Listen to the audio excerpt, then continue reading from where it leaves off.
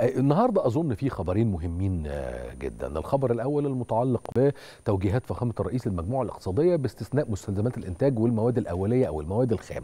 مهمة جدا جدا جدا جدا لأنه ده من شأنه فعلا تعزيز العملية الصناعية والعملية الإنتاجية اللي موجودة أو اللي إحنا أوجدناها في مصر خلال السنين اللي فاتوا واللي هي بالأساس القاطرة الحقيقية للخروج من هذه الأزمة الاقتصادية العالمية بالنسبة لنا. ده على سبيل المثال لا الحصر وزي ما حضراتكم عارفين فخامة الرئيس وجه باستثناء تحديدا مستلزمات الإنتاج والمواد الخام من الإجراءات اللي تم تطبيقها مؤخرا على عملية الاستيراد. وإنه نعود إلى النظام القديم من خلال مستندات التحصيل.